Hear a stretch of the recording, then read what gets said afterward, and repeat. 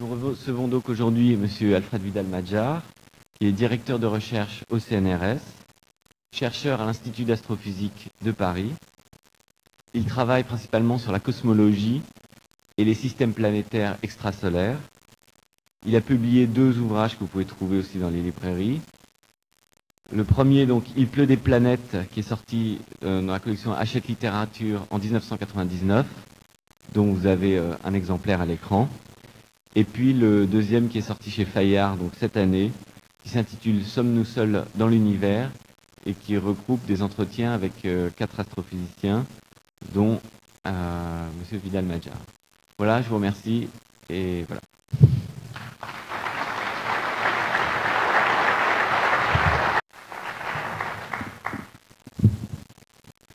Merci beaucoup.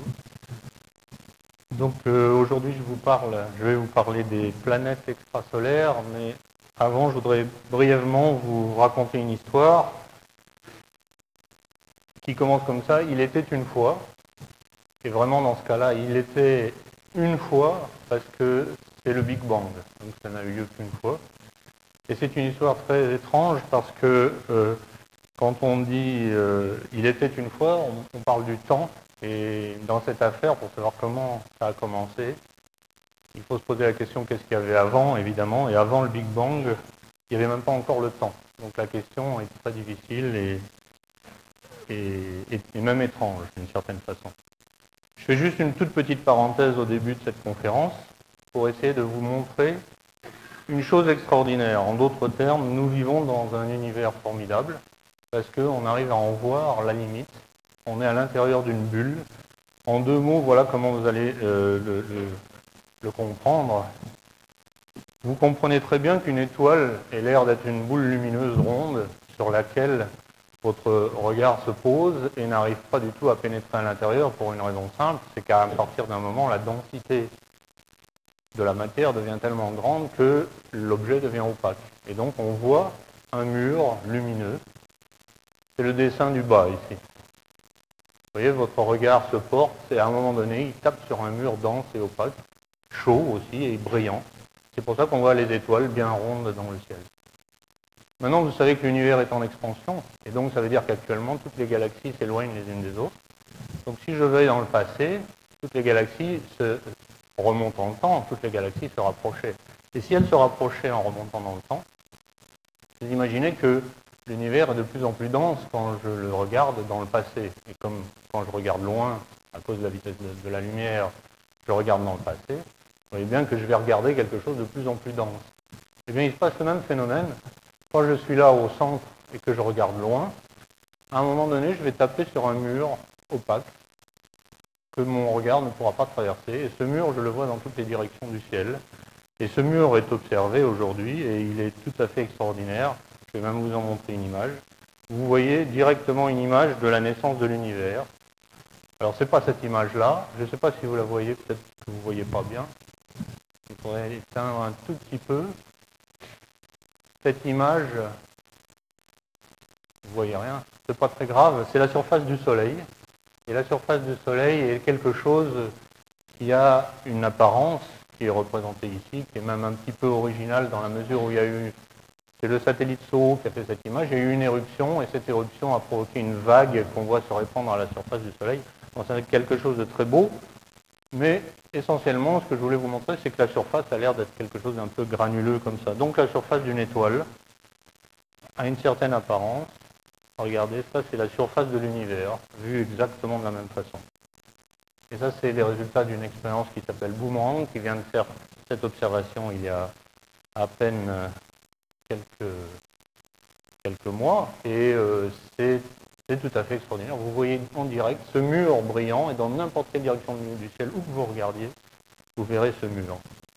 Donc toute notre histoire commence là, une longue histoire, et ceux qui ont eu la chance euh, d'écouter Michel Cassé il y a deux jours, qui a eu la gentillesse de permuter avec moi, ont dû voir ce qui se passait après cette naissance de l'univers, des étoiles se forment et ces étoiles, au cours de leur vie, rejettent de la matière et cette matière est lentement changée en composition et sa composition devient celle que nous trouvons aujourd'hui à peu près partout dans l'univers, c'est-à-dire c'est une courbe qui donne avec la masse de chaque élément sa, quantité, combien on en a dans l'univers? Vous n'arrivez probablement pas à lire, mais tous les éléments les plus abondants, alors plus c'est haut, plus il y en a, les éléments les plus abondants, c'est le carbone, l'azote, l'oxygène, et l'hydrogène qui est encore plus haut là, il est en dehors de, la figure. Ça veut dire que dans l'univers, nous avons des étoiles qui ont eu la gentillesse de fabriquer tous les atomes dont nous sommes faits, et en plus, c'est des atomes extrêmement abondants. Donc on va avoir tout ce qu'il faut pour faire quelque chose, et entre autres, ça, c'est-à-dire une belle planète. Et là aussi, on a une chance formidable parce qu'on est sur une très belle planète, vous voyez. Et l'ensemble des éléments la composent sont effectivement beaucoup à partir de ces éléments qui ont été faits, enfin tous à partir des éléments faits depuis les étoiles. Alors comme on est sur une belle planète, je fais toujours des petites digressions et je vous invite à profiter de cette belle planète qui nous offre des spectacles magnifiques.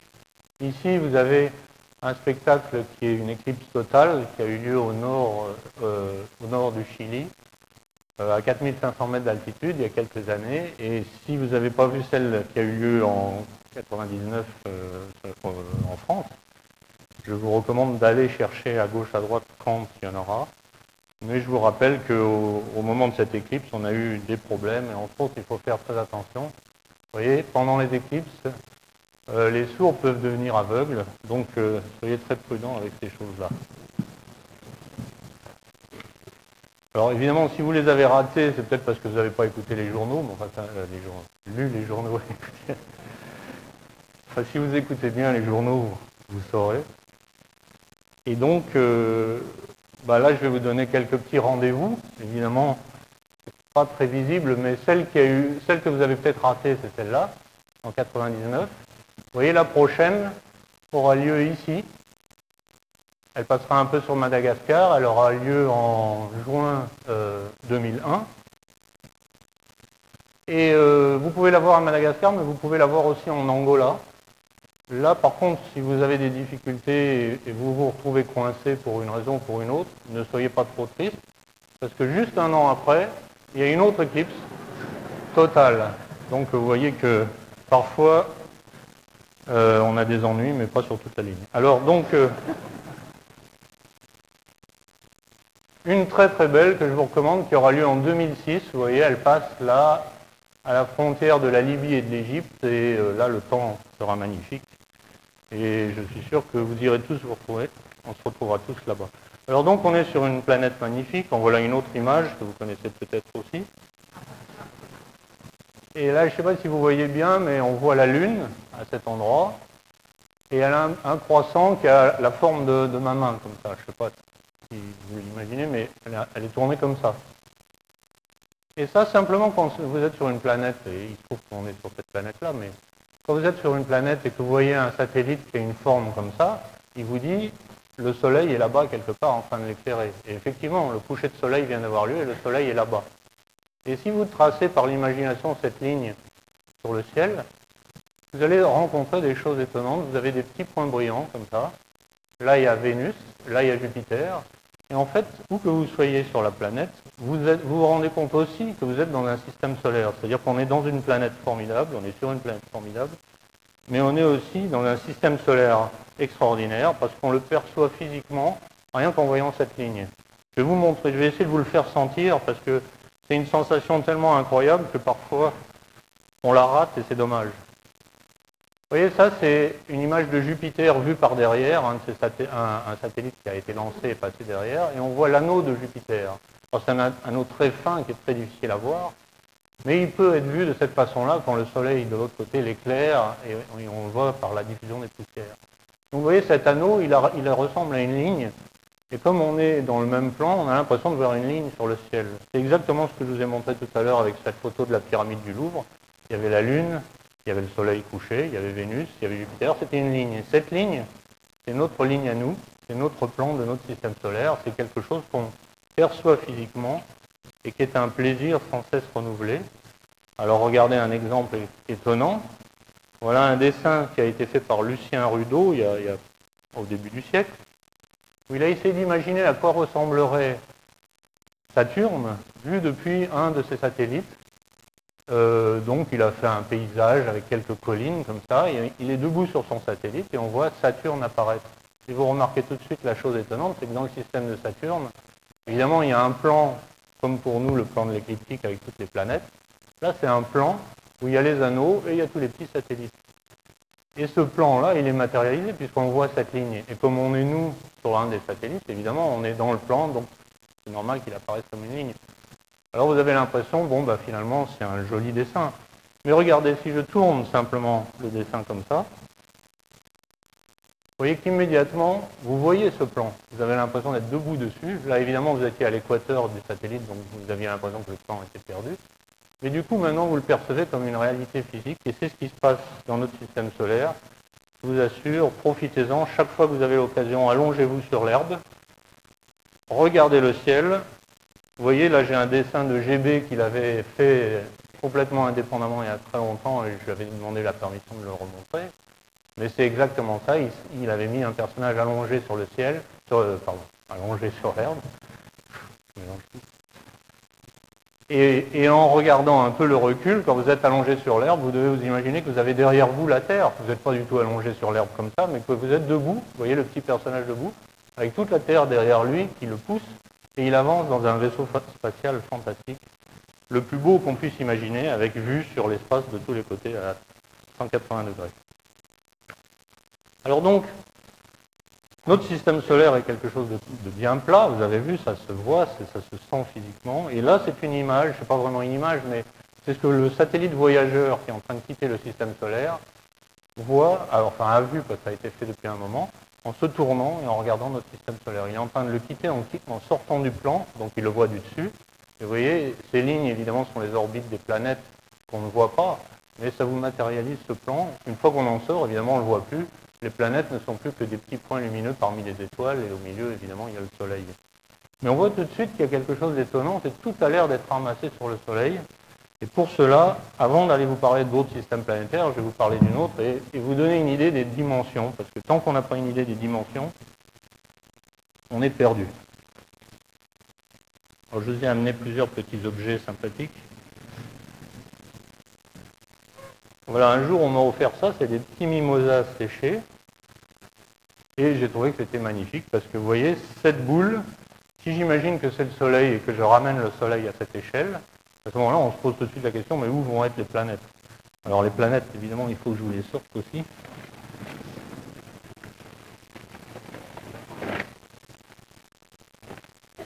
Toujours plus compliqué.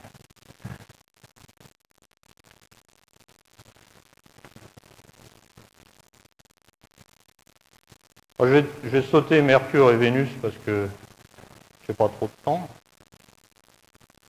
Mais voilà la Terre. Vous voyez la Terre À l'échelle de ce Soleil, voilà la Terre. Et où je la placerai, la Terre Malheureusement, je n'ai pas le droit de dépasser les lignes vertes là parce qu'on ne me verrait plus. Alors on se dit, mais où est l'étoile suivante La première étoile que je vais trouver en quittant mon système planétaire, où je dois aller Alors à cette échelle, tout le système est dans 100 mètres. La première étoile que je vais rencontrer sera à 1300 km d'ici. Et vous voyez, à 1300 km d'ici, je vais avoir une autre magnifique boule jaune faite avec du mimosa séché.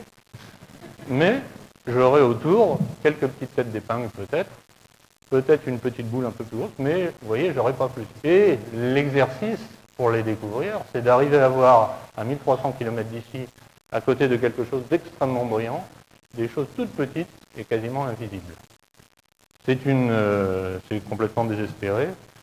Ceci dit, euh, ça fait très longtemps que les gens essayent quand même. Et fort heureusement, depuis peu, on a réussi et je vais vous raconter comment, comment on a réussi. Alors, comment on a réussi? Pour cela, il faut que je vous dise en deux mots comment travaillent les astronomes. Et ça, c'est important parce que sinon, on n'arrive pas à bien comprendre. Alors les astronomes, vous voyez là un astronome en plein travail. C'est extraordinaire, c'est une boîte de camembert qui existait, qui s'appelait La Planète. Alors j'avoue que j'ai été ravi quand j'ai trouvé ça. Et l'astronome là regarde dans sa lunette et regarde au loin. Alors il regarde, ça c'est vrai, il observe. C'est une chose très importante. Et une fois qu'il a observé, ou même avant d'observer parfois, il se dit, ce que je suis en train de voir, je vais essayer de m'en faire une idée. ce qu'on appelle un modèle, ou une théorie, vous appelez ça comme vous le voulez. Et en gros, il échafaude une espèce de représentation un peu dans sa tête, qui est en général tout à fait fausse, bien sûr, mais il commence comme ça. Et puis il retourne et dit, je vais recommencer à observer. Et il revient, il va, il vient. Alors par exemple, si un astronome s'était élaboré le modèle d'une vache, mais il ne sait pas très bien ce que c'est qu'une vache, mais il a peut-être des idées, eh bien, il aurait commencé par faire un modèle comme ça. Et puis petit à petit, il dira, bon, mais c'est peut-être pas exact, donc mon, modèle de vache est bon, mais il n'est pas parfait. Donc il retourne dans les prés, il va regarder les vaches de plus près, il va voir que bon, il doit changer deux, trois petites choses, et petit à petit, donc, on avance comme ça. Ça a l'air d'être un peu ridicule, donc ne, critiquez pas les astronomes, ou enfin n'allez pas répéter à tout le monde qu'on parie comme ça, parce qu'on va couper nos budgets, mais ceci dit, euh, profondément, toute la recherche scientifique fonctionne comme ça. Donc, euh, si vous le faites, à ce moment-là, on coupera tous les budgets de tout le monde. Donc, ça ira. Alors, voilà comment on marche. On fait la chose suivante. On se dit, mais alors, comment on va faire un système planétaire? Alors, un système planétaire, c'est quand même... On, voit le, travail fini, avec notre système solaire. On se dit, comment, on a pu arriver à ça Alors, ça a été... Il y a eu beaucoup d'idées. Là, je vous montre celle, finalement, qui a marché, la vache sphérique qui ressemble le plus à la réalité. Et vous voyez que le, modèle est le suivant, c'est-à-dire que nous commençons par avoir un gros nuage dans le milieu interstellaire, et ça on en voit, vous avez dû voir des photos de ça souvent, je vous en montrerai d'ailleurs, qui à un moment donné est tellement massif qu'il arrive à attirer la matière vers l'intérieur. Vous voyez simplement parce qu'un atome au bord, il sent l'attraction de tous les atomes à l'intérieur, et puis à l'extérieur, il y en a pas. Donc schématiquement, il va avoir tendance à vouloir aller vers l'intérieur. Donc à une certaine dimension, ce système va s'effondrer sur lui-même. Mais il va s'effondrer, vous voyez que comme il tourne, il va se mettre à tourner de plus en plus vite. Et en tournant de plus en plus vite, ceux qui tombent le long de son axe, rien ne les empêche de tomber, donc ils vont tomber, ça va s'aplatir. Par contre, ceux qui tournent là très très vite, il va y avoir la force centrifuge qui va les empêcher de tomber. Donc on, avance naturellement vers un système qui va former un disque, et puis après on se dit, ben, dans ce disque, il va se passer des choses qui vont finalement nous faire au milieu une étoile et autour des tas de petites planètes qui tournent. Donc ça, c'est une idée très ancienne. Maintenant, il fallait la regarder dans tous les détails pour être sûr qu'elle marche. Et donc retourner dans le pré, voir si notre vache sphérique... Alors, ce qu'il y a d'extraordinaire, c'est qu'aujourd'hui, effectivement, voilà l'histoire. Elle est vérifiée de bout en bout par des observations. C'est-à-dire que maintenant, on sait bien comment ça marche. Bien sûr, il y a toujours encore des, détails qui ne collent pas, et ça, justement, c'est ce qu'il y a d'amusant dans l'affaire, mais l'essentiel de l'histoire est, celle-là. C'est-à-dire que notre nuage, quand il s'est condensé, au bout de 100 000 ans, il va avoir bien cette forme de disque qui est très épais et complètement opaque, mais encore à 100 000 ans, il est encore enfoui dans le grand nuage dans lequel il, s'est condensé, parce qu'il y a un beaucoup plus grand nuage autour. Et là, c'est ce que je vais vous montrer des images du télescope spatial qui montrent qu'on voit ça vraiment. Je vous dis rapidement les, étapes. Au bout d'un million d'années, il sort du nuage, il émerge, l'étoile commence à briller, mais il y a encore ce disque opaque. Et ça aussi, je vais vous montrer des images, on le voit, on voit que toutes ces étapes sont traversées. Après 10 millions d'années, c'est l'étape où maintenant tout le disque va commencer à disparaître et il a fabriqué des planètes. Et à cette époque-là, les planètes géantes doivent être faites. Donc ça, c'est une époque aussi qu'on observe. Ensuite, 100 millions d'années, ben là, il va falloir beaucoup plus de temps pour faire dans ce qu'on appelle maintenant un disque de débris, c'est des objets qui sont en collision, qui vont fabriquer petit à petit des terres. Il faut plus de temps pour faire les petites planètes que les très grosses. Et enfin, au bout d'un milliard d'années, on arrive à quelque chose qui ressemble tout à fait à ce que nous connaissons ici. Eh toutes ces étapes, je vais vous les montrer. Et donc, euh, la première, c'est ces grands nuages interstellaires où la matière se condense. Et vous voyez là, c'est une nébuleuse qui s'appelle M16. Vous voyez, vous voyez quelque chose? Parce que moi, je vois rien du tout. Vous voyez, des, comme des grandes euh, montagnes, là. Et ça, c'est vu du sol, donc c'était déjà des très belles images, on se rendait compte que c'était des endroits où devaient naître des étoiles. Mais voilà l'image du télescope spatial, et elle est tellement, d'abord, je crois qu'elle est très connue, et elle est magnifique, et je l'ai en diapositive. Oh, j'ai oublié deux, mais enfin, on va, on va regarder les diapositives rapidement.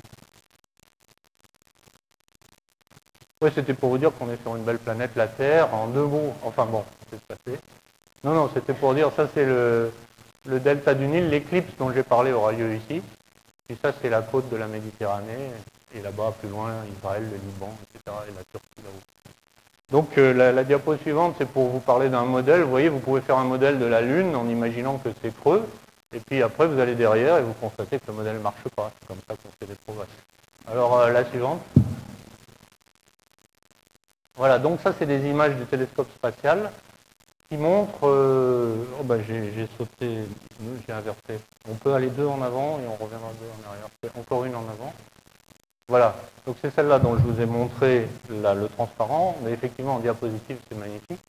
Et vous voyez ces grandes colonnes de, matière très dense, c'est des nuages dans lesquels, à l'intérieur desquels, des grumeaux commencent à se condenser et forment des nouvelles étoiles et des nouveaux systèmes planétaires. Mais on ne les voit pas, on sait qu'ils sont à l'intérieur, mais il se passe une chose extraordinaire, vous voyez ces étoiles très brillantes, il y en a une là, et puis il y en a tout un, groupe au-dessus, là-haut, qui sont en dehors de l'image, mais qui font que ces nuages s'évaporent, s'évaporent, s'évaporent, et la diapo suivante va nous montrer un agrandissement du haut de, cette grande colonne qu'il y avait à gauche. Et vous voyez que vous voyez des tas de petites cornes comme ça. Ces petites cornes, en fait, au bout de chacune, j'ai un petit système planétaire et une étoile en train de naître, qui sont devenus un, endroit tellement dense et, opaque, qui fait qu'ils protègent le, le, reste du nuage en faisant comme une ombre portée de l'évaporation due aux étoiles au-dessus. C'est-à-dire que tout le grand nuage là, qui est encore assez dilué, s'évapore, s'évapore dans le vide autour, par contre, là, il y a une, comme une petite protection. Et au bout de chacune de ces petites cornes, vous voyez, il y a un système en train de naître avec une étoile et un disque. Mais on ne les voit pas directement, mais on sait qu'ils sont là. Et vous voyez finalement que ce modèle de la vache sphérique est assez compréhensible, puisqu'on voit déjà les cornes là et tout ça. Alors, l'étape suivante, c'est euh, là on est à 100 000 ans, donc on est enfoui dans le nuage, on dit on a envie de voir quand même comment ça se passe après. Alors l'étape suivante, c'est vraiment voir les disques.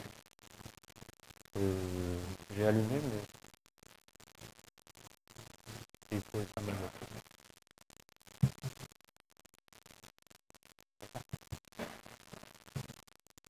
Alors, on veut voir les disques. Là, ceux qui connaissent bien le ciel reconnaissent immédiatement le trapèze d'Orion et quatre étoiles très brillantes au cœur d'Orion. Et ces quatre étoiles-là ont une telle luminosité et doivent éjecter tellement de vent et de matière qu'il y a tout autour des toutes petites choses un peu bizarres qu'on avait vues d'ailleurs depuis assez longtemps de la Terre, mais on n'avait pas pu les comprendre jusqu'à ce que le télescope spatial euh, les, montre. Et donc justement, la diapo euh, précédente, plutôt, deux diapos précédentes, même si on peut les montrer, parce que finalement, les diapos, on les voit beaucoup mieux. Enfin, moi, en fait, je les vois mieux. Voilà, par exemple, ou celle d'avant encore. Voilà, c'est un de, ces qui était sur la photo d'avant, mais un peu agrandi.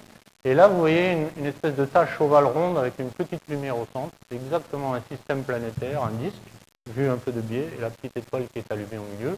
Et là, c'en est une autre, mais qui est prise. Alors, la petite chose noire à l'intérieur, c'est ce disque qu'on peut imaginer à moitié enfoui mais qui est prise dans la luminosité de l'étoile très chaude à côté et le vent qui est en train de complètement le, faire disparaître et se volatiliser. Alors, la, diapo, donc euh, là, c'est donc des tas d'exemples agrandis. Et vous voyez, là, c'est un exemple très spectaculaire. Ça, c'était le petit disque ovale que je vous ai montré avec l'étoile au milieu. Celui-là, c'est un disque qui est quasiment vu par la tranche. Et vous voyez, on voit la lueur de l'étoile qui commence à s'allumer au milieu et qui émerge en dessus et en dessous aussi. On la voit apparaître de ce disque très opaque. Pour vous donner une idée, l'échelle du système solaire ici est grand comme le haut de la petite barre, euh, la barre du U, le petit truc là-haut. Ça, c'est notre système solaire ici. Vous voyez, c'est quelque chose qui est beaucoup plus vaste que le système solaire. Et la diapo suivante, non, pardon, le transparent suivant, donne un agrandissement de ce, de ce genre de disque. Alors, enfin, il y en a plusieurs, on en a découvert près de 150, vous voyez, ces disques très opaques. Là, l'étoile est même enfouie, on ne la voit pas, et là, l'étoile émerge. Donc, vous voyez, c'est la deuxième étape, elle est vue aussi, on sait que ces systèmes sont, en marche et qui commencent à se faire. Alors, l'étape suivante, c'est 10 millions d'années. On est arrivé au moment où on est en train de digérer tout ce disque de matière pour fabriquer des planètes. Une partie pour fabriquer des planètes, une autre partie va être perdue, soit éjectée dans l'espace, soit va tomber sur l'étoile centrale. Et là, deux images du télescope spatial montre que maintenant on voit aussi autour de, plusieurs étoiles maintenant, mais là je vous donne deux exemples, où on a pu cacher la lumière de l'étoile, parce que toujours dans le problème de ces observations, c'est de pas être ébloui. On voit le, un disque là en forme presque d'un anneau, et là un disque beaucoup plus étendu, et avec une bande noire au milieu. Alors, dans les deux cas, l'interprétation, c'est de dire un disque qui a qu'une forme d'anneau, il faut probablement des planètes pour essayer de, balayer et empêcher que cette, poussière, parce que de la poussière, c'est parti partout. Donc on pense qu'il y a déjà effectivement ces planètes fabriquées dans ces disques. Alors l'étape suivante, c'est celle qui est ce qu'on appelle les disques de débris, c'est-à-dire qu'il y a énormément de cailloux, de comètes, d'astéroïdes, de choses qui circulent dans le système planétaire en formation et qui n'arrêtent pas de rentrer en collision. Et les plus gros vont euh, grossir au détriment des plus petits. Et là, c'est un exemple de collision qui a été dessiné, mais c'est pour vous dire que c'est des choses qui arrivent d'une manière extrêmement fréquente, et ça a eu lieu dans notre système solaire. Pendant les premiers 700 millions d'années du système solaire, la Terre, la Lune, enfin tous les astres du système solaire ont reçu des bombardements d'astéroïdes et de comètes considérables, qui les ont d'ailleurs marqués, et cette époque, on sait qu'elle a duré 700 millions d'années. Donc c'est cette période-là qui amène à des disques tout à fait différents. C'est-à-dire que comme il y a beaucoup de collisions d'objets dans un plan et qu'ils éjectent des débris dans tous les sens, ces débris vont faire de la poussière et du gaz qui va se répandre dans un immense disque. Et cet immense disque, on l'a vu pour la première fois autour de l'étoile Beta Pictoris. Voilà l'image, vous voyez l'étoile est cachée par un, masque pour, ne pas avoir le, problème de sa lumière. Et on voit le disque s'étendre, et là on a la chance de le voir complètement par la tranche. Alors j'en parle avec beaucoup d'émotion, puisque Beta Pictoris, on est copains depuis près de 15 ans maintenant. Et on a réussi à voir qu'autour de cette étoile, il y a, ça c'est un, dessin évidemment, il y, a, des comètes qui n'arrêtent pas de tomber sur l'étoile, donc on a vraiment vu des objets dans un système planétaire euh, compact, qui, qui tournait dans tous les sens. Et pour vous faire une comparaison, regardez cette image du satellite SOHO qui regarde le Soleil et qui voit, le Soleil est caché derrière, et qui voit tomber une comète dans notre autre système solaire. En ce moment, euh, il en voit plusieurs, euh, plusieurs dizaines par an. Donc ce n'est pas un événement tellement rare. Sur Beta Pictoris, c'est plusieurs par jour qui tombent sur l'étoile. Donc on a découvert ça, et donc on a été tout à fait enthousiaste, et on n'a pas arrêté d'observer cette étoile. Et un jour, en novembre 1981, une nuit plutôt, en novembre 1981, en regardant l'étoile, on a vu sa luminosité faire une courbe extrêmement étrange, et en particulier la chute très brutale au cours de la nuit du 10 novembre. Voilà, on l'a interprété comme étant une chute de quelques pourcents, et donc due peut-être à un objet de la taille un peu plus gros que Jupiter qui serait mis à passer devant le disque à, ce moment-là. Alors c'est peut-être la première détection d'une planète. Le problème, c'est que pour en être convaincu, il faudrait qu'elle recommence. Et si elle a une orbite de, je sais pas, 30, 40 ans, vous voyez qu'on peut attendre longtemps. Alors en attendant, moi je me suis imaginé à, décrire cette planète, vous voyez, comme une, comme une planète avec un anneau de Saturne, puisque je trouvais qu'elle était un peu grosse par rapport à Jupiter, mais avec un anneau, elle aurait pu faire l'affaire.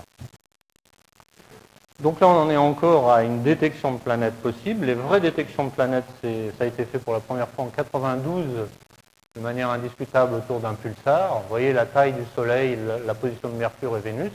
Eh bien, autour d'un pulsar, on a découvert trois planètes qui ont à peu près, deux d'entre elles la taille de la Terre, un peu plus grosse que la Terre, et une comme la Lune à peu près. Et donc ça, c'est confirmé parce que c'est des, systèmes qui n'arrêtent pas de tourner. Alors maintenant, vous allez me dire, bon, mais alors maintenant, les planètes vraiment dont on est complètement sûr, ça, c'est pas, pas une photo d'une planète, ça, c'est un astéroïde dans le système solaire qui s'appelle IDA, et à côté, on a découvert un tout petit astéroïde satellite qu'on a nommé Dactyle. Et l'échelle IDA fait à peu près une cinquantaine de kilomètres de long. Mais vous voyez que, euh, pour vous donner l'échelle, là j'ai mis la, tour Eiffel sur Dactyle. Ça, vous voyez tout de suite à quoi ça ressemble. Vous voyez la tour Eiffel là. Vous voyez, c'est un tout petit truc. Mais ce tout petit Dactyle tourne autour de IDA et a un mouvement qui, va avoir l'effet suivant, c'est que bien sûr, il a l'air de tourner en orbite autour de l'IDA, mais en même temps, même tout petit, sa masse, aussi petite soit-elle, un tout petit peu attirer l'Aquile d'avant en arrière. Et donc va faire un balancement infime, mais qu'on va essayer d'imaginer ou de voir. Et l'idée, c'est que les planètes, comme tout à l'heure les épingles, ou même les, les, qui tournent autour d'un Soleil, vont entraîner un tout petit balancement. Vous voyez, Jupiter en 11 ans fait le tour, donc le Soleil va faire un petit balancement. Comme ça, à peu près de cette taille d'ailleurs, c'est comme s'il tournait par rapport à un bord, de, son bord. Et donc en 11 ans, il fait une espèce de balancement. Qu'on n'a plus tout à fait calculé. Et voilà le, balancement du Soleil, comme on le verrait si on était à une dizaine d'années-lumière au-dessus du, plan de notre système planétaire. Et vous voyez, il passerait de, de l'an 2000, on est là, en l'an 2005, il viendrait là, puis en 2010, il serait là, et puis il continuerait. Alors il fait un balancement pas complètement régulier, parce que c'est Jupiter qui domine, donc on retrouve une période de 11 ans, mais il y a Saturne qui perturbe un peu, donc ça complique le mouvement. Donc vous voyez, on pourrait voir, si on regardait avec beaucoup de soin une étoile de loin sur le ciel, on pourrait la voir bouger un tout petit peu. Ce balancement est infime, c'est 0,2 millième de seconde d'arc, alors c'est un chiffre extrêmement petit, mais euh, bon, on, est, on commence à être capable à le faire, dans pas longtemps on le fera, donc c'est pour vous dire qu'on les verra, ces balancements. Pour le moment, on n'a pas réussi. Mais il se trouve qu'il y a autre chose, c'est que quand le Soleil tourne comme ça, il se balance aussi, vous voyez, par rapport à vous, d'avant en arrière. Alors comme il se balance d'avant en arrière, il y a un autre effet, qui va être l'effet magique, que je vais essayer de vous faire euh, voir. Mais là, je me lance dans une expérience extrêmement dangereuse. Et je ne sais pas si... Enfin, on va essayer. Non, elle est intéressante parce qu'elle va vous faire comprendre deux choses à la fois. Sinon, vous comprendrez. Alors, il faut déjà que ça marche. Alors écoutez bien, je vais le faire de manière à ce que vous entendiez quelque chose. Est-ce que vous entendez quelque chose? Alors ceux qui sont attentifs ou qui connaissent un peu la physique, ils savent que normalement, comme j'ai tourné dans ce plan-là, vous avez dû entendre par moment le réveil venir vers vous plus aigu, qui s'éloignait plus grave. Je ne sais pas si vous l'avez entendu, mais si vous l'avez entendu, l'expérience est réussie. Ah oui, quand on fait de la recherche aussi, on fait des expériences. Parfois elles sont réussies, parfois elles sont ratées. Alors, maintenant je refais l'expérience. Et vous allez tout de suite voir où est le problème. Vous voyez, si je tourne comme ça, vous, ne pouvez pas entendre de variation. Donc, vous allez vous dire, mais alors, quand j'entends une variation de son, alors effectivement, ce n'est pas le son dans ce cas-là, c'est la lumière des étoiles qui va être un peu décalée dans le bleu et dans le rouge dans les petites longueurs d'onde, grande longueur d'onde, c'est le même effet transposé à la lumière. Si cet effet-là, il est produit par une planète qui tourne autour de mon étoile et a la gentillesse de le faire comme ça par rapport à moi, je vais bien l'entendre. Mais si la planète elle tourne comme ça et, l'étoile fait ça, je ne vais rien entendre du tout. Et comme je ne sais pas où tourne la planète, vous voyez qu'il va y avoir un petit problème. Je ne saurais jamais exactement quelle est la masse de cette planète qui est en train de faire bouger mon étoile. Alors c'est un petit problème, c'est pas grave. On commence par se dire, bon, on commence par entendre quelque chose et puis après on discute. Et c'est ce qu'on a fait. Et donc la méthode, je l'ai appelée le peigne fin. On a passé les étoiles au peigne fin, si vous voulez. Pourquoi? Parce que quand on regarde la lumière d'une étoile, c'est un... C'est donc un, la lumière de l'étoile, bon, il y a les couleurs de l'arc-en-ciel quand on regarde ça très grossièrement, puis quand on regarde mieux, on voit qu'il y a des petites raies, c'est-à-dire qu'il y a des atomes dans l'atmosphère de l'étoile qui chacun vibre à une longueur d'onde et enlève la lumière. Et ça fait que finalement, quand on regarde la lumière d'une étoile, on ne voit pas, en fait, comme euh, une belle variation de la luminosité avec les couleurs, mais on voit une espèce de, de fouillis comme ça de choses, que j'ai appelé un peigne, effectivement, et qui est un nombre considérable de raies. Alors j'ai agrandi là une partie, et puis en dessous encore agrandi, et vous voyez que l'ensemble de ces choses-là sont des endroits très précis dans la lumière de l'étoile, et quand elle avance, à ce moment-là c'est décalé d'un côté, quand elle recule, c'est décalé de l'autre. Et il y en a tellement qu'on arrive à le mesurer avec une précision extrême, et c'est ce qui a été réussi pour la première fois par deux astronomes suisses, Michel Mayor et Didier Queloz, à un observatoire français, l'observatoire de Haute-Provence, et ils ont réussi à voir ce mouvement d'ensemble de ces raies qui ont donné finalement cette mesure du balancement. Vous voyez, cette, courbe-là, c'est quelque chose qui s'est répété tous les trois jours. On voyait toutes les, toutes les transitions de la lumière aller d'un côté, puis elle revenait, puis elle allait de l'autre côté, elle revenait. Et ça, ça nous a donné une période de trois jours. Ça veut dire que c'est quelque chose qui faisait balancer l'étoile en tournant très près, parce que trois jours, ça veut dire qu'on est tout près. Et ça donnait une idée de la masse, puisque si c'était dans le plan Il n'avait pas besoin de beaucoup de masse pour le faire, mais vous voyez que si c'était comme ça, alors là, pour faire avoir ce qu'on en dans ce sens-là, il fallait beaucoup plus de masse. Donc, il y avait une petite ambiguïté, mais ça y est, la première découverte était faite et confirmée, et donc on commençait à avoir des planètes.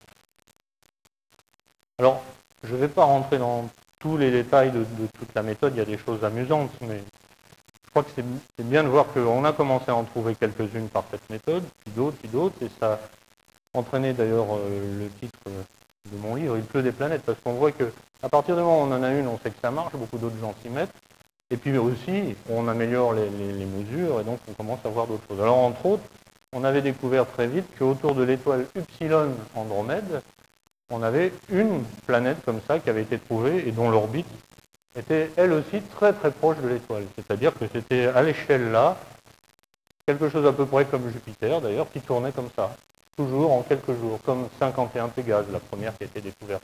Donc vous voyez, c'est des planètes géantes, mais assez étonnantes. On ne s'attendait pas du tout à les trouver là. Alors plus amusant, c'est qu'une fois qu'on a découvert autour des d'Epsilon Andromède, on a continué à surveiller son mouvement on a vu que le balancement, comme tout à l'heure le Soleil, le balancement, c'était pas juste trois jours, c'était trois jours et puis ça se décalait un peu, puis un peu plus, puis un peu plus. Et puis au bout d'un moment, on a réalisé qu'il fallait rajouter une deuxième planète qui perturbait la première. Mais évidemment, comme elle est plus lointaine, elle a un effet plus petit sur le balancement, donc c'est un, une puis une troisième planète, etc. Donc on a même trouvé un système à trois planètes géantes, Upsilon Andromède, par cette méthode. Donc on a non seulement des planètes, mais on a des systèmes planétaires. Et donc le grand résultat, parce qu'on pourrait dire, attendez, attendez, attendez, quand même, on trouve, euh, qu'est-ce qu'on trouve là? On trouve des balancements d'étoiles. Alors moi je veux bien, un balancement d'étoiles, c'est formidable, c'est des planètes, je veux bien être gentil, mais quand même, moi je veux vraiment d'une preuve solide. Et c'est vrai, on aurait pu imaginer, on avait quand même une bonne idée de la masse, c'est correct, mais on aurait pu imaginer des tout petits trous noirs, des choses qui n'avaient rien à voir avec des planètes, des choses exotiques. Maintenant, on est sûr que ce sont des planètes parce que, après en avoir trouvé plus d'une vingtaine, on s'est mis à les regarder en se disant mais si par chance il se trouve que la planète passe juste dans, l'axe de mon regard, elle va peut-être passer comme ça, juste devant l'étoile à un moment donné. Et puis comme elle n'est pas très loin, ça, a des chances de se produire. Donc, après avoir surveillé, surveillé, surveillé toutes ces planètes, il s'est passé la chose extraordinaire en septembre 99. Et bien voilà, une planète est passée devant son étoile. Et juste au moment où on l'attendait, c'est-à-dire qu'on savait qu'elle devait être devant. Donc c'était bien. Mais mieux que ça, c'est-à-dire qu'en plus, maintenant on savait exactement sa masse. Et deuxièmement, on savait sa dimension. Alors ça, beaucoup de gens croient que c'est une image, une photo qui a été faite par je ne sais pas quel instrument magnifique. Mais c'est un dessin simplement. On ne voit pas la planète de cette façon-là, ça serait euh, extraordinaire. Un jour peut-être on le fera. Mais ce qu'on a vraiment vu et mesuré, c'est ça c'est-à-dire la lumière de l'étoile, vous voyez, qui est là, qui brusquement, au cours d'une nuit, s'est mise à chuter. C'est exactement l'exemple que j'ai montré de Beta Pictoris tout à l'heure. Sauf que là, il a pu être revu plusieurs fois parce qu'elle tourne tous les trois jours, donc il suffit d'attendre pas très longtemps. Et on a pu revérifier que chaque fois, on voyait cette courbe se reproduire. Et ça, ça nous donne une idée, simplement par la profondeur, ça nous donne une idée de la taille de cette planète, enfin, de l'objet d'une certaine masse qui est devant. Et comme maintenant on connaît sa masse et sa taille, on connaît donc son volume en faisant l'hypothèse que c'est sphérique. Je vous ai dit, les vaches sphériques, on les retrouve tout le temps, mais c'est raisonnable quand même. On imagine mal que ce soit autrement. Et du coup, on a trouvé une densité inférieure à celle de l'eau, c'est-à-dire un peu une planète du genre de Saturne. Mais maintenant, on est sûr, on a des planètes, on les tient.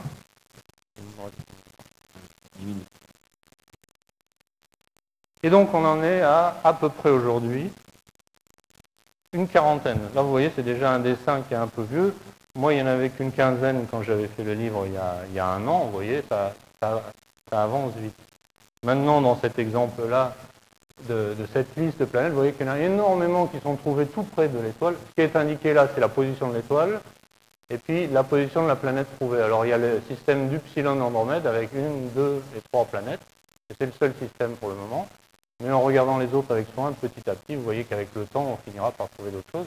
Bien sûr, plus elles sont loin, plus la période est longue, plus il faut du temps d'opération pour en exclure.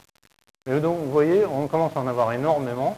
Et le fait qu'elles soient très proches des étoiles, celles qu'on trouve, n'est pas dû au fait que dans les systèmes planétaires ailleurs, les planètes géantes sont à côté des étoiles, c'est simplement dû au fait que cette méthode-là est beaucoup plus sensible à, ce genre d'objets. Et cette méthode est sensible aux planètes proches des étoiles, et cette méthode est sensible aux planètes les plus massives, bien sûr. Et maintenant, il y en a tellement qu'on commence par, on peut même en faire un espèce de décompte. C'est-à-dire, je ne sais pas si vous voyez bien, mais combien a-t-on de planètes entre 0 et une fois la masse de Jupiter, c'est-à-dire de masse plus petite que Jupiter. Et vous voyez, c'est le plus grand nombre, il y en a une, dizaine. Celles qui ont entre une masse de Jupiter et deux masses de Jupiter, un peu plus gros que Jupiter, il n'y en a plus que 6, euh, ou 7. Entre 2 et 3, il n'y en a plus que 4, etc. Donc vous voyez que ce qu'on remarque, c'est que plus on a une grande masse, moins on en trouve, et plus on a une petite masse, et plus on en trouve. Alors que je viens de vous dire, la méthode est sensible, plus la masse est grande, plus elle est sensible, évidemment. Donc là, on est en train d'être tout à fait convaincu que on est en train de trouver des planètes. On sait maintenant que plus les masses sont petites, plus elles sont nombreuses. Donc quand notre méthode sera de plus en plus sensible pour les plus petites masses, on va en voir de plus en plus. Alors que de l'autre côté, avant d'arriver à atteindre les masses des étoiles qui se trouveraient par là, enfin près du, du spot lumineux là-bas, on, ne trouve plus rien. C'est-à-dire qu'il y a une espèce de vide entre d'un côté les étoiles, de l'autre côté les planètes. C'est deux mondes différents, pour une raison simple, c'est qu'ils sont fabriqués de façon complètement différente. Donc maintenant, on sait, on comprend, on, a même une idée du nombre, et c'est la diapo euh, suivante, qui est que, euh, je vais conclure sur un aspect très, très étonnant, c'est que curieusement, cette conclusion, eh bien, on va arriver à l'inverse.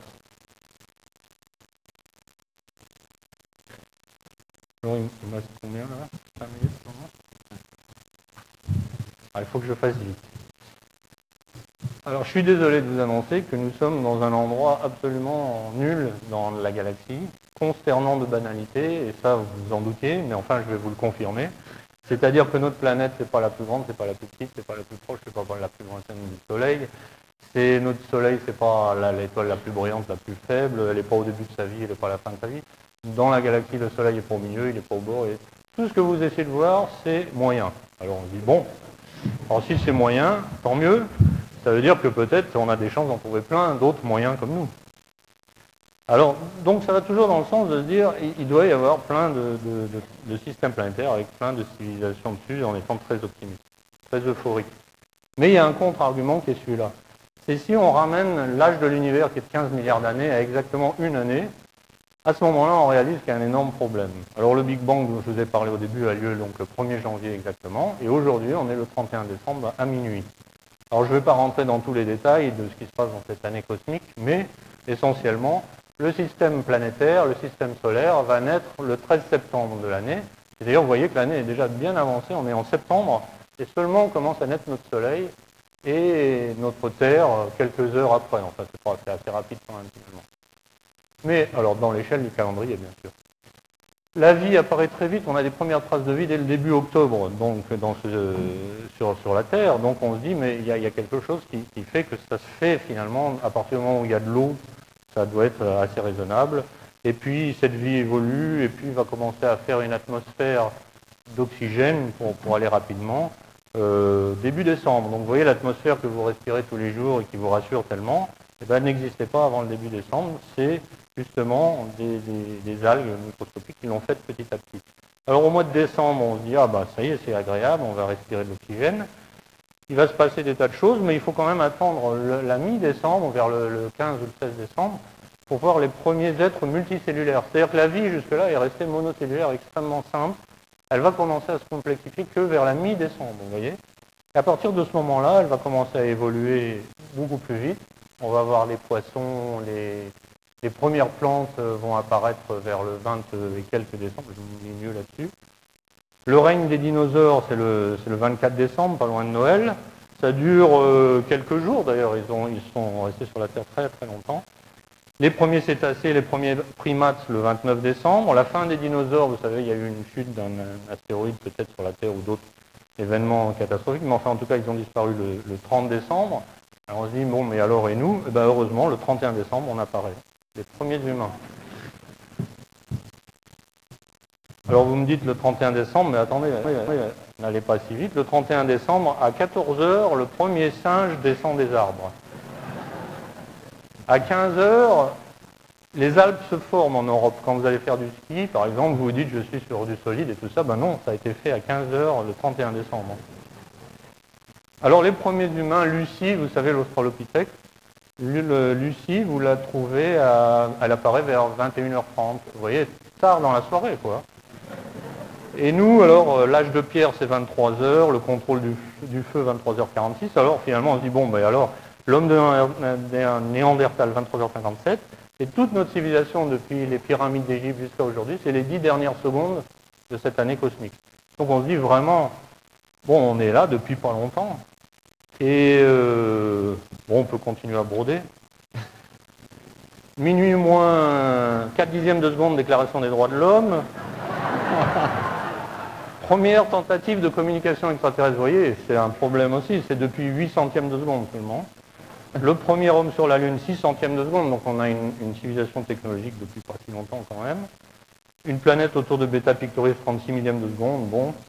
la première planète, 8 euh, millièmes de seconde, autour de 51 Pégase. Mais bon, alors ce qui nous intéresse, c'est, et maintenant, l'année suivante, qu'est-ce qui va se passer? C'est là ma conclusion, c'est que l'année suivante, D'abord, je vous ai dit, la prochaine éclipse totale qui aura lieu le 21 juin 2001, c'est dans 17 10 millièmes de seconde. Donc il ne faut pas la rater.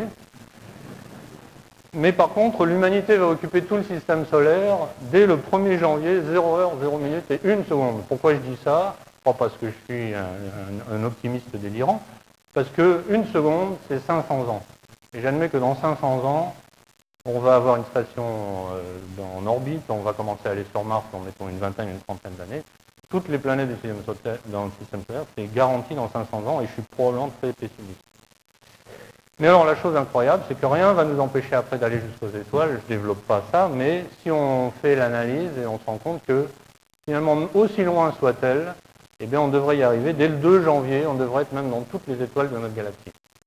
Alors à partir du moment où on se dit ça, on se dit mais c'est incroyable parce que s'il y a autant de planètes partout, si la vie a pu apparaître partout, si la vie a évolué vers des gens comme nous aussi facilement partout, etc., et s'il y a autant de civilisations, comment ça se fait que le 13 septembre de cette année soit apparue la première civilisation dans notre galaxie?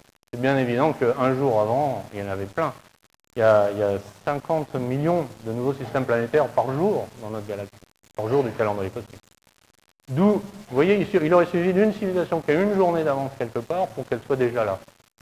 Donc, plus on trouve de planètes, plus ça montre qu'il devrait y en avoir, et comme on n'en a pas vu, plus ça montre peut-être qu'on est bien seul.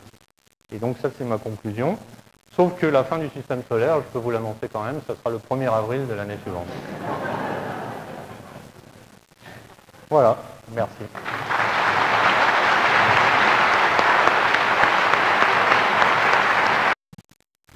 Je suis debout dans l'Assemblée. Hein.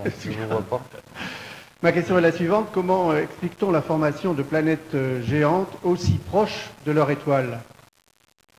Alors la, manière de l'expliquer est la suivante, c'est que les planètes géantes, comme je vous l'ai dit, se forment très tôt, dans le premier 10 millions d'années, au moment où le disque est encore présent. C'est-à-dire que j'ai un disque de gaz et de poussière très dense qui est encore là. Et dans ce disque vont se former des endroits où où la matière va commencer à se condenser et va commencer à faire euh, une proto-planète géante, un peu comme ça. Mais à partir du moment où on l'apparaît, on peut montrer que dans ce disque, sa présence-là va perturber le comportement des particules dans le disque autour, qui vont en partie tomber sur la planète et en partie dériver, mais le résultat global, c'est que la planète va lentement dériver vers l'intérieur. Et cette planète, en fait, en dérivant vers l'intérieur, va se rapprocher, se rapprocher de l'étoile et même éventuellement tomber dans l'étoile. Donc euh, le, problème en fait qui est apparu, c'est que on peut trouver des mécanismes pour faire dériver ces planètes une fois qu'elles se forment. Tant que le disque est présent, elles peuvent dériver vers l'intérieur, et donc on le comprend. Mais le problème que ça pose, c'est que cette dérive est très rapide, et qu'on se dit dès qu'une planète se forme, en général, il faut que 100 000 ans, alors que je vous ai dit c'est 10 millions d'années, l'ordre de grandeur pour former ces planètes, alors, donc on dit, dès qu'elles apparaissent en 100 000 ans, pof, elles tombent dans l'étoile centrale. Et là, il y a un problème, c'est... Alors, chaque fois que j'en fais une, elle tombe dans l'étoile et je vais la perdre. Comment ça se fait qu'elle survive et comment ça se fait en plus qu'elles aient l'air de survivre juste à côté de l'étoile? Donc, c'est un autre problème qui a émergé. C'est qu'on voit maintenant comment les faire. Enfin, il y a plusieurs euh, possibilités, mais l'idée surtout, c'est de dire maintenant comment les arrêter. Alors, comment les arrêter?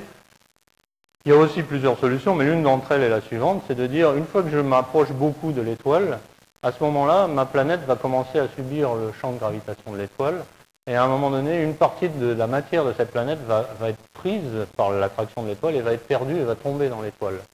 Et à partir de ce moment-là, la planète perd de la masse. Et dès qu'elle perd de la masse, elle arrête de se rapprocher puisqu'elle tourne à une certaine vitesse avec moins de masse, donc elle va en fait s'éloigner.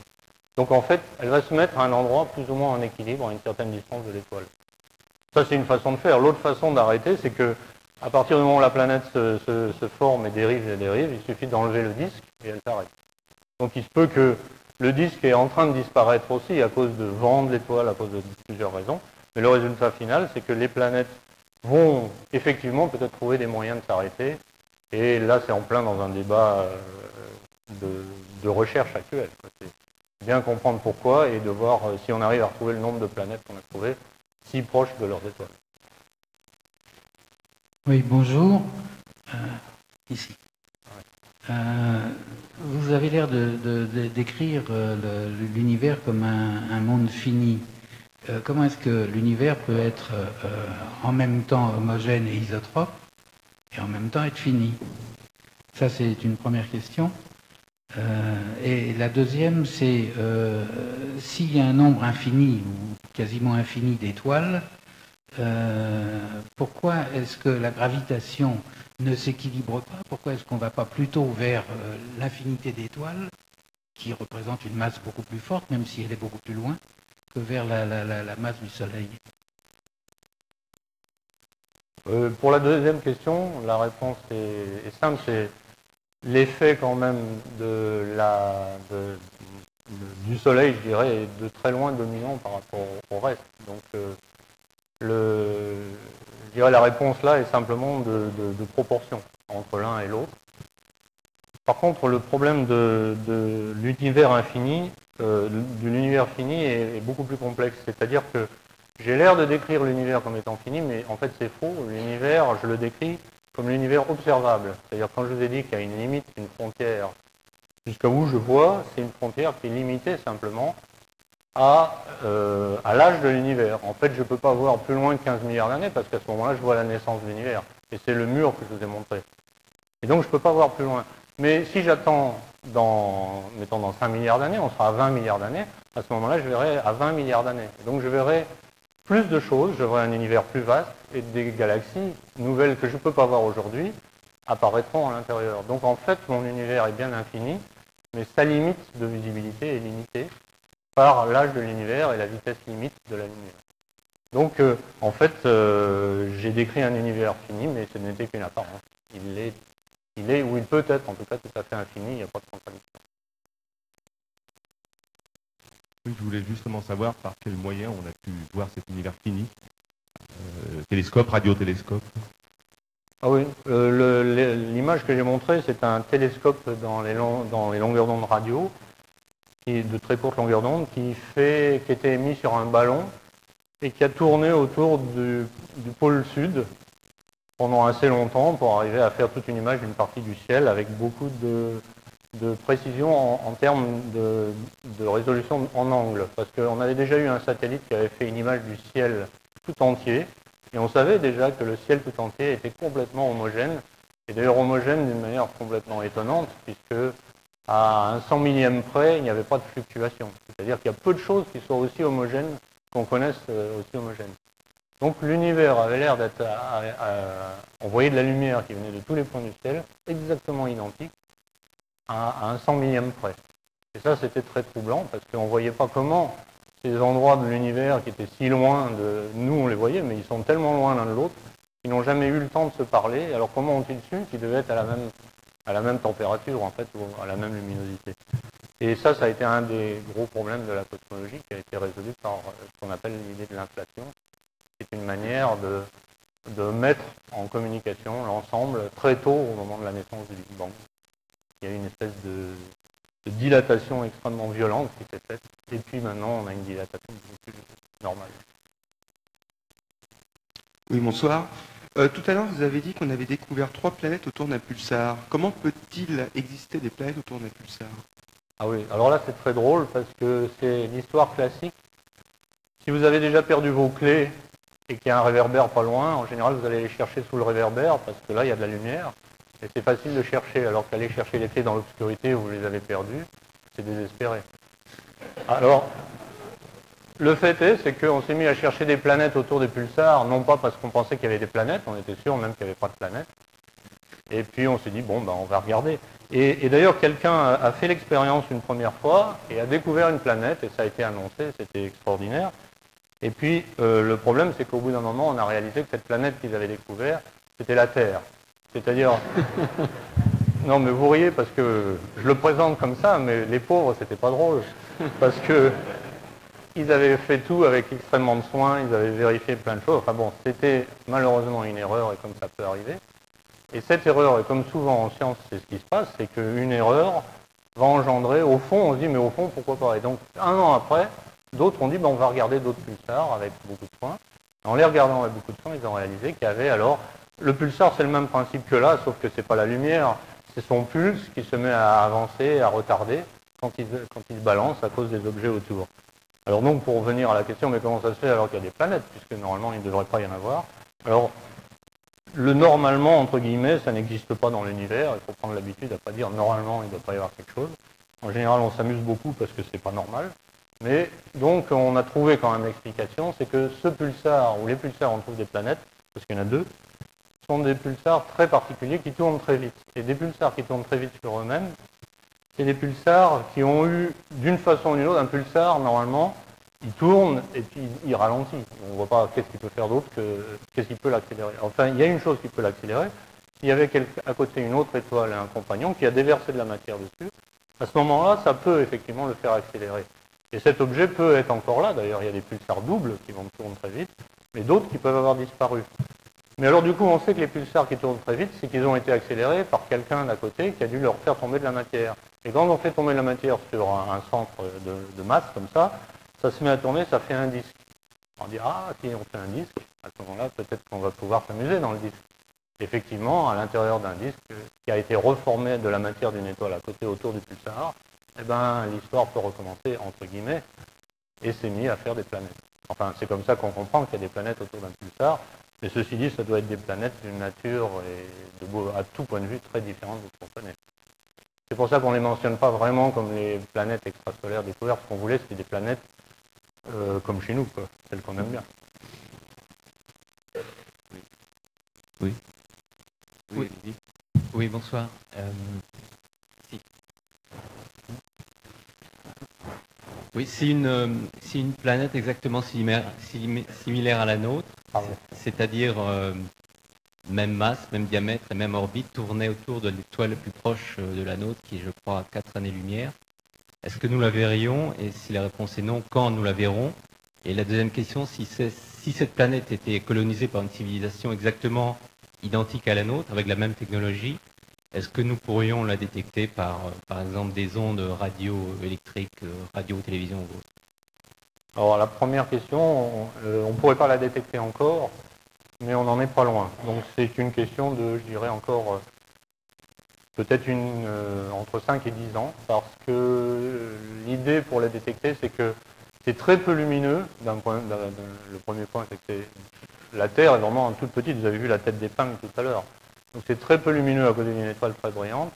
Donc il faut d'abord beaucoup de surface pour collecter les photons et la lumière pour arriver à la repérer, et en même temps un moyen très pointu pour arriver à se débarrasser de la lumière de l'étoile. Et l'idée, c'est d'utiliser de très grands télescopes comme les VLT qui sont au Chili en ce moment, mais il y en a d'autres aux États-Unis qui s'appellent les Keck, qui sont deux grands télescopes de 10 mètres ou le VLT quatre grands télescopes de 8 mètres.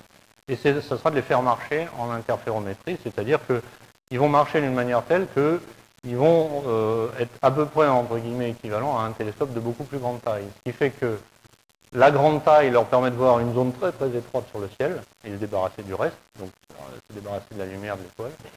Et par contre, leur grande surface permet de collecter le très peu de lumière qui va nous arriver. Donc c'est une chose qui est en train d'être mise en place et donc euh, dans, je dirais, entre 5 et 10 ans, ça va souvent plus vite qu'on l'annonce, mais bon, parfois ça va moins vite, donc je ne mettrai pas ma tête à couper là-dessous, mais bon, c'est dans pas très longtemps.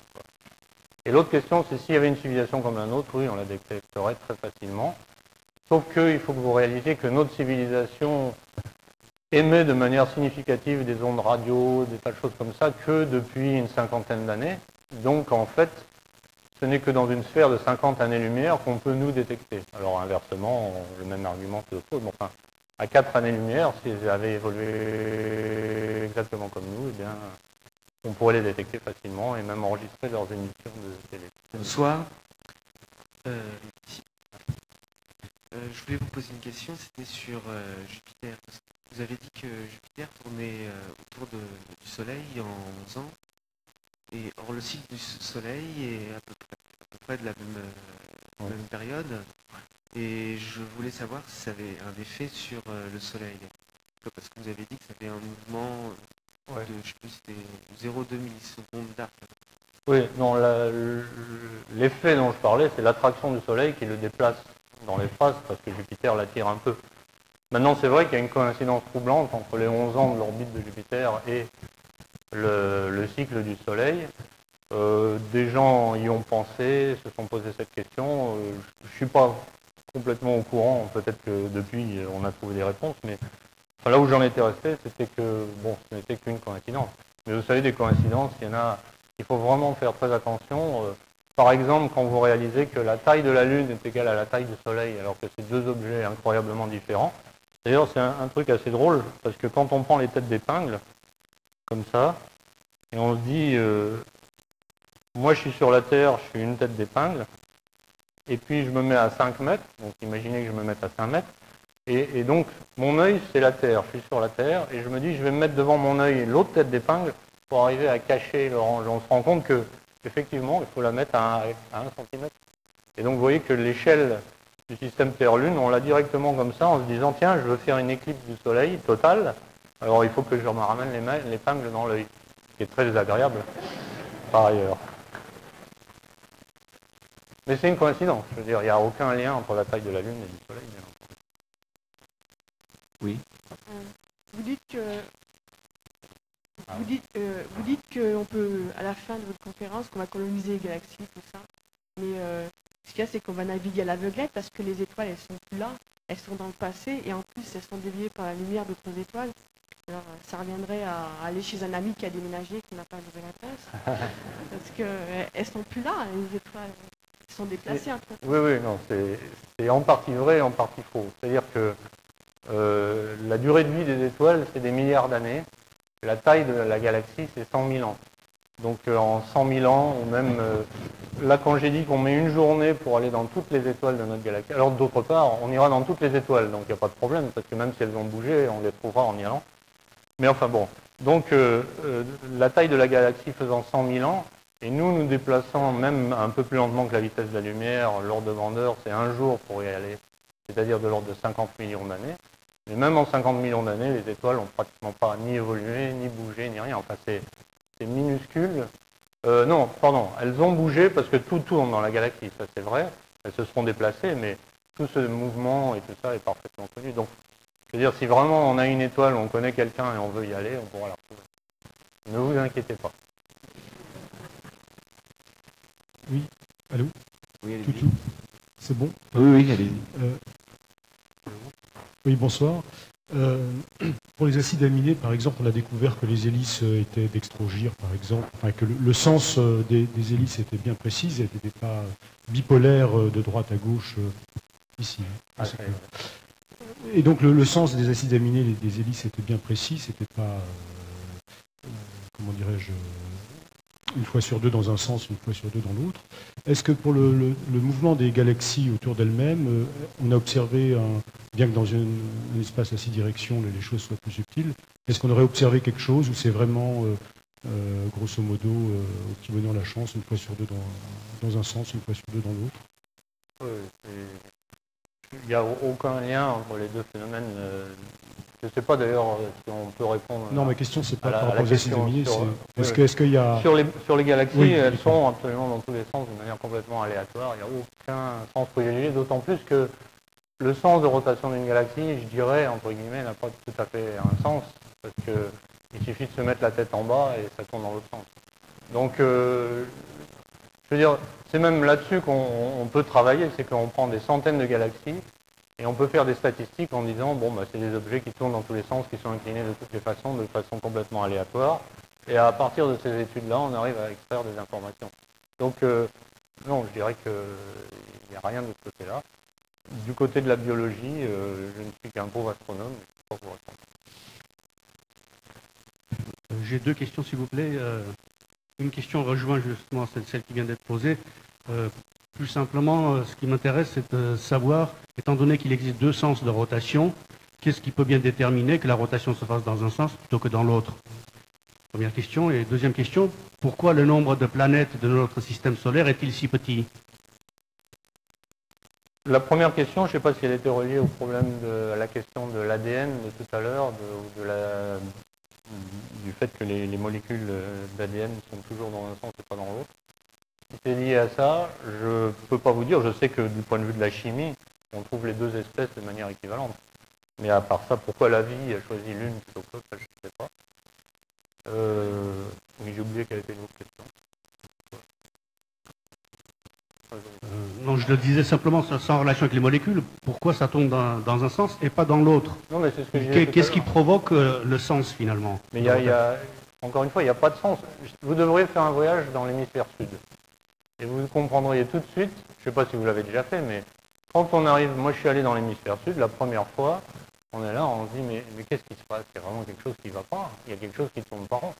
Et c'est vrai, on est complètement habitué dans notre inconscient à voir le soleil se lever, la lune bouger, les trucs tourner dans un sens. Et on arrive dans l'hémisphère sud, et puis bah, on, réalise qu'il y a quelque chose qui ne va pas. Et effectivement, tout tourne dans l'autre sens, la lune est à l'envers. En fait, tout est pareil, mais on n'a pas réalisé que c'est nous, on met nous la tête en bas bien sûr, je suis d'accord avec ça. donc il n'y a, pas de sens, je veux dire, vous ne pourrez pas dire qu'il y a un sens. un sens dans le sens où on pourrait arrêter la Terre de tourner dans ce sens-là et la faire partir dans l'autre sens. Ça c'est bien réel. Ah, pourquoi toutes Donc vous voyez bien qu'il y a un sens quand même. Pourquoi toutes les planètes tournent dans le même sens? C'était ça votre question. Non, non, pourquoi c'est ce sens-là qui l'a emporté sur l'autre? Ah ben parce que, alors non, alors là il y a une réponse. Parce que toutes les planètes tournent autour du Soleil dans un certain sens. Vous êtes d'accord qu'elles tournent toutes dans le même sens, parce qu'elles sont issues d'un disque qui tournait globalement autour de cette étoile au départ. Tout tourne dans ce sens-là. À partir du moment où tout tourne dans ce sens-là, à l'intérieur, quand on forme un objet, vous verrez qu'à un moment donné, quand vous mettez de la, matière qui tombe d'un côté ou de l'autre, vous allez faire en sorte qu'un côté va, prendre plus de vitesse que l'autre. Et l'objet en se formant se met naturellement à tourner dans un seul sens, et toutes les planètes tournent effectivement dans le même sens, qui est lié au sens de la rotation autour de l'étoile. Ça, c'est parfaitement clair, il n'y a aucun problème, entre guillemets, parce qu'il y a toujours des problèmes. Et un des problèmes, c'est bien sûr Uranus, qui est une planète qui ne tourne pas comme ça, mais qui est couchée par rapport au plan de l'écliptique, et qui tourne alors en... bon, il n'y a même plus de sens, puisqu'elle est couchée dessus, elle roule. Alors, à ce moment-là, euh, évidemment, la manière d'expliquer ça, c'est qu'il y a eu un très gros impact sur Uranus qui a fait basculer l'axe de rotation, et c'est vrai qu'on peut imaginer qu'à la limite, les, planètes puissent euh, recevoir des, chocs et basculer, etc. Ma deuxième question, c'était pourquoi il y a si peu de planètes dans notre système solaire? Ah oui, pourquoi Ben écoutez, je sais pas. Moi, d'abord, je trouve qu'il y en a pas mal. Vous en vouliez combien? Non, non, mais... Non, mais je veux dire, je sais pas. Si on parle des petits corps, il y en a euh, des, des milliers et des milliers. Si on parle même des très petits corps qu'on vient de découvrir, appelle la ceinture de Kuiper, qui est au-delà de, Pluton. Pluton, d'ailleurs, est probablement un membre de cette ceinture. Il y a 200 millions d'objets qui tournent dans la ceinture de Kuiper autour du Soleil. Alors, je veux bien qu'on ne les appelle pas des planètes parce que c'est trop petit et une planète, ça doit être présentable, ça doit être assez gros, je sais pas. Mais, euh, mais bon, il y a plein, plein, plein d'objets qui tournent autour du Soleil je dirais la définition d'une planète est un peu ambiguë. C'est-à-dire à partir de quelle taille on décide que c'est une planète? Là, je vous ai montré l'astéroïde Ida, il fait 50 km, c'est a priori une planète. Il a même un satellite, alors vous pensez. Alors qu'il y a des planètes qui n'ont même pas de satellite. Et je nommerai personne. Oui. Civilisation éventuelle euh, extraterrestre, nous-mêmes euh, hommes, euh, on est a priori le résultat de la chance et du hasard. Alors pourquoi, donc on avait très peu de probabilité en fait de développer notre intelligence. Alors pourquoi veut-on obligatoirement euh, parler de civilisation extraterrestre, d'intelligence, etc., alors qu'on avait vraiment, on a eu du bon en fait bah, Moi je veux rien du tout. C'est justement, dans, ces discussions-là, on peut avoir envie ou pas envie, on peut rêver, on peut ne pas rêver. La question, c'est est-ce qu'il y en a ou il n'y en a pas, c'est tout. Et la manière de se poser cette question, c'était de dire, on avance dans le problème en, regardant est-ce qu'il y a des sites favorables? Est-ce que je vais trouver beaucoup d'endroits? On a cherché les systèmes planétaires, imaginez, on aurait pu n'en trouver aucun. Bon, il n'y avait qu'un seul système planétaire dans la galaxie. On dirait, bon, bah, finalement, c'est peut-être pas étonnant. Mais on trouve l'inverse. On trouve qu'il y a plein d'endroits où il doit y avoir probablement, on ne les a pas encore vus, mais il y a probablement des terres. Toutes ces terres, il y en a peut-être qui vont se trouver à la bonne distance de l'étoile, donc avec des océans. Tous ces océans, il va y avoir des tas de petites choses qui vont se mélanger là-dedans et qui vont finir par donner des cellules qui vont faire une atmosphère d'oxygène. Et pourquoi pas Et après, etc., etc. Donc, j'ai pas dit que je suis d'accord que ça ait lieu. J'ai dit, mais si tout ça a lieu, avec toutes ces probabilités qui ont l'air d'être plutôt favorables, c'est quand même étonnant qu'il n'y ait qu'un endroit. Donc finalement, la conclusion est peut-être qu'il y a quelque part un obstacle terrible et qu'on ne connaît pas, qui est ou qui aurait pu être dans la formation d'un système planétaire. Apparemment, c'est pas là. Mais ça peut être maintenant dans le passage de l'inerte au vivant. Il y a peut-être quelque chose qu'on ne connaît pas, ça, bien sûr, encore. Donc là, il y a peut-être un passage tellement dur que c'est un événement exceptionnel qui a eu lieu et c'est pour ça qu'on serait seul. Mais ça peut être après. Une fois qu'on a fabriqué des cellules, peut-être que, bon, bah, en général, elles restent à l'état de cellules et elles n'arrivent pas à faire des choses plus compliquées parce qu'il y a un obstacle là encore qu'on ne connaît pas. Donc il y a peut-être des tas d'endroits où ça peut s'arrêter. Et alors à ce moment-là, la réponse, bah, c'est bien celle que j'ai donnée. C'est du coup, bah, il semblerait qu'on soit plutôt seul. Mais euh, je ne le sais pas et il pourrait que je me trompe. Je vous remercie.